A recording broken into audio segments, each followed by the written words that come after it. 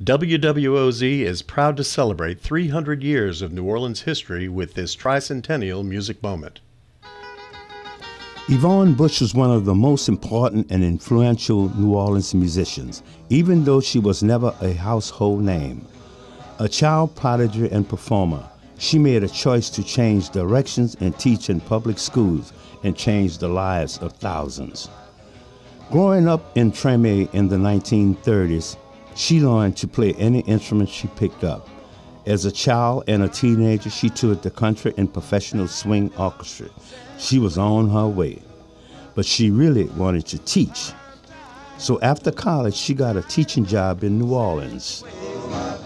The students at Booker T. Washington Senior High were surprised when Miss Busch used her own money to repair instruments and buy sheet music. Miss Busch started teaching about jazz and popular music.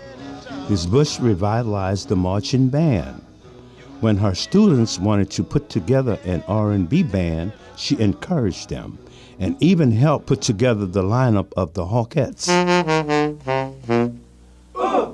Her musicians remained devoted even when she moved on to other schools.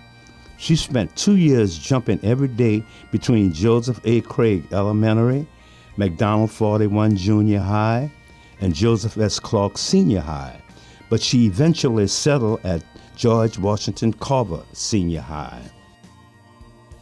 She set out to teach, and when she taught a student, they stayed taught. When she finally retired after 32 years, her former students were everywhere in New Orleans and around the world. Sugar Boy Crawford, James Black, Smokey Johnson, Herlin Riley, Kermit Ruffins. And she set new standards for music education. Her student teachers included Ellis Marsalis, Roger Dickerson, and Clyde Kerr Jr.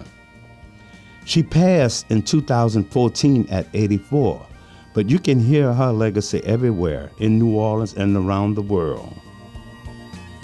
For WWOZ, I'm James Rivers, and I was a student of Miss Yvonne Busch at Booker T. Washington High School.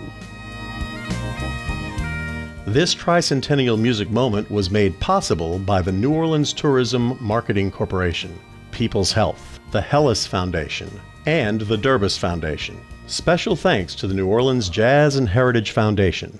To learn more, go to wwoz.org and keep listening to WWOZ for more tricentennial music moments.